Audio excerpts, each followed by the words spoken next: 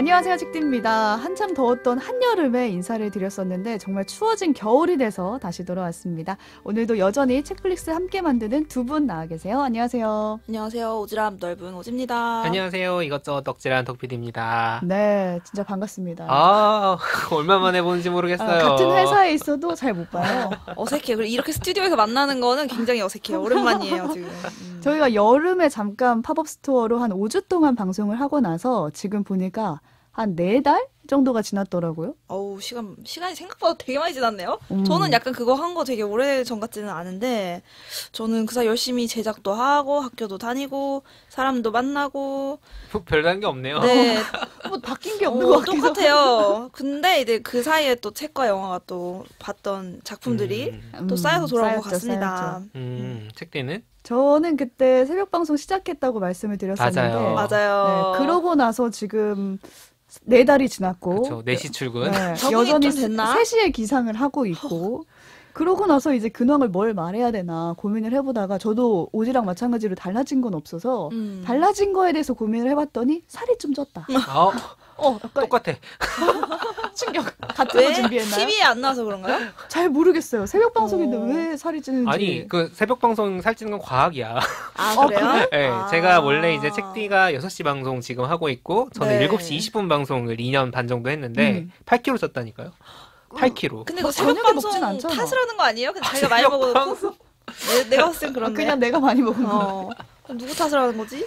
아, 살 빼야 되는데 빼야 되는데 저도 그러고 있어요. 네, 독피디 음. 어떻게 지냈어요? 뭐 똑같고 사실 저는 사실 근데 이제 다행히도 저는 그 살 살찌는 지옥에서 탈출했다. 음, 이제 살이 지금, 빠지는지 네, 봐야겠네요. 아침 방송 안 하고 있죠. 살이 빠지는지 모르겠지만 음. 아무튼 그 아침 방송은 이제 2년 반 정도 하고 나와서 특집을 뭐 하나 만들고 지금은 신규 유튜브 채널을 만들고 있습니다. 무려. 네, 무려 새로운 일을 하고 있네 뉴 유일하게. 미디어. 네. 자기도 같이 하고 있으면서 지금 발 빼는 모르는 책디는 뭔지 아, 모르겠고, 방송쟁이들. 네, 저희가 책플릭스 해본 경험이 도움이 되더라고요. 유튜브를 어. 새로 만들려고 하니까 좀 친근하게 수다 떠는 포맷으로 뭘 해보자 뭐 이런 얘기가 있어가지고 그런 거 음. 만들고 있고, 좀 저는 이제 12월이지 않습니까? 네. 그럼 저는 원래 12월이 되면 되게 바빠요. 왜요? 왜냐면 왜요? 올해 결산을 해야 되거든요. 아, 맞다, 매년 맞다. 연재하시죠. 맞다. 연말에마다. 결산을 해야 되는데 문제는 뭐냐면 결산할 게 없어. 거리가 없군요. 제가 생각보다 올해 컨텐츠 소비가 별로 없더라고요. 아. 슬픈 소식이네요. 네. 뭐 올해 맥주 이런 건 있을 거 아니에요. 근데 그- 그럴 것도 별로 없어요. 아, 생각보다 많이 좀 없어가지고. 밋밋했나 봐요. 그렇지. 그러네. 밋밋하네여서 좀 아쉬운 중인데 이 학관 혹시 책플릭스를 우리가 안 해서 그래서. 작품이 안 어, 쌓여. 작품이 안 쌓이고 경험이 안 쌓이고 그래서 이런 것인가 뭐 그런 음. 생각도 들더라고요. 근데 그건 맞는. 것 같은 게 책풀을 안 하니까 책이 완독이 안 되고 음. 음. 중간에 읽다가 그냥 그만두더라고요. 그냥 읽다 말고 나 어. 그냥 혼자서 즐기면 음. 됐지 정도. 만족으로. 음. 저희는 이렇게 아무 생각 없이 쳇바퀴 돌듯이 음. 지내고 있었지만 저희 청취자분들 중에 또 네. 저희를 기다려 주시면서 댓글을 남겨주신 분들이 있습니다. 진짜 감사합니다. 애플 네. 팟캐스트의 빠바방빵님이 취저 팟캐예요 하면서 팟캐스트 리뷰 처음 써봐요. 뒤늦게 발견해서 자기 전에 꾸준히 듣고 있습니다. 전 자기 전에 들으신다는 분들 어, 정말 진짜 이해가 많네요. 되지 않아요. 어, 아, 깨지 않나? 네. 세분 조합 소개해 주시는 책과 영화, 사담들까지 너무나 좋습니다. 계속 계속 듣고 싶어요 하셨는데 이분 올려주시고 나서 저희가 한 번도 돌아온 적이 없는 어, 것 네, 같아요. 네, 네. 저희 쉬는 동안 취향 쉬는 동안 저격이라고 올려주셨어요. 하셨는데 저격만 해놓고 사라졌어. 그치. 그러니까 아, 또 저도 하나 소개를 해볼게요. 팟빵 통해서 남겨주셨는데요. 기타 치는 병아리님 남겨주신 댓글이에요.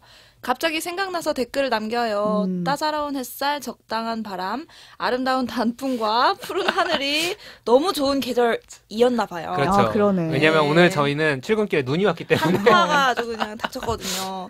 잘 지내시나요? 푹 쉬시고 각자의 자리에서 행복하시길 바라요. 기다리고 있을게요. 어, 가을에 아, 기다린다고 좋습니다. 하셨는데 어, 단풍 겨울에 왔습니다. 많이 기다리셨네. 네. 마찬가지로 죄송합니다. 오디오 클립의 아라리아 님도 계절도 바뀌어 가는데 어째 돌아오시지 않는 아, 건가요? 많이들 기다려주셨네요. 이분도 가을에 남기셨습니다. 아, 네. 그리고 그 밑에 이모티콘이 울음 표시가 한 거의 10개가 오열 있어요. 중이세요. 죄송합니다. 가을부터 지금 겨울까지 오고 어. 계신데 너무 늦게 왔네요, 저희가. 너무 늦게 왔네요. 그럼 이제 시즌 4가 시작이 되는 건가요? 자, 시즌 4는 저희가 이제 지난번에도 팝업스토어라고 이름 붙여가지고 짧게 방송을 했는데, 음. 시즌이라고 뭔가 하려니까 뭔가 좀, 숨이 턱 막히죠. 그쵸. 아. 그리고 뭔가 부담감이 어마어마한 걸 해야 될 것 같고, 그래서 일단은 우리가 겨울이니까, 음. 겨울에 일단 방송을 해보자. 뭐 네. 봄에 어떻게 될지 모르지만, 어. 그래서 컨셉을 겨울 개학. 아, 남들 지금- 다 방학할 때. 방학할 시점에 이제 그리고- 우리는 계약합니다. 오지 말고는 학교 다녀본 지 이제 5년, 어, 10년 잘 모르겠어. 사람들이 방학이 언젠지 모르겠어. 그럼요. 네, 겨울 개학이라는 저희가 또 컨셉 좋아하니까 네. 컨셉을 가지고 겨울에 한번 방송을 해보려고 이렇게 모였습니다. 네, 뭐 이게 잘 되면 봄 계약도 할 수 있는 거고 방학을 안 하는 수가. 있어요. 이러다가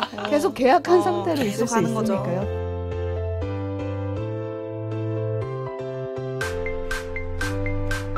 오늘 뭐 볼까 고민하는 분들을 위한 취향 추천 팟캐스트 책플릭스. 오늘은 책플릭스 겨울 개학을 알리기 위해서 짧게 이야기 나눠봤는데요. 다음 에피소드에서 다뤄볼 작품 예고해드리겠습니다. 어떤 책이죠? 네, 이언 레슬리라는 작가의 다른 의견이란 책을 한, 한번 같이 읽고 또 이야기 나눠보려고 하는데요. 음.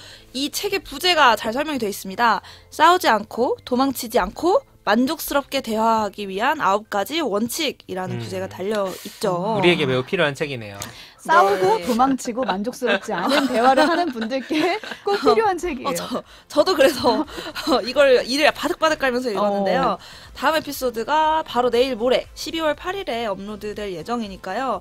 지금 듣고 바로 사셔도 약간 시간이 좀 빠듯하실 수 그렇죠. 못 읽어, 못 읽어. 어, 제 생각에는 저희가 드리는 이야기를 좀 들어보시고 조금 더 읽어봐야겠다 싶으시면 음, 그때 구매하셔도 충분히 잘 보실 수 있을 것 같습니다. 네, 안 읽어보셔도 마치 읽어보신 것처럼 들어보실 수 있게 저희가 소개를 준비해서 목요일에 책 다른 의견으로 다시 돌아오겠습니다. 오늘 방송은 여기서 마칠게요. 고맙습니다. 감사합니다. 감사합니다.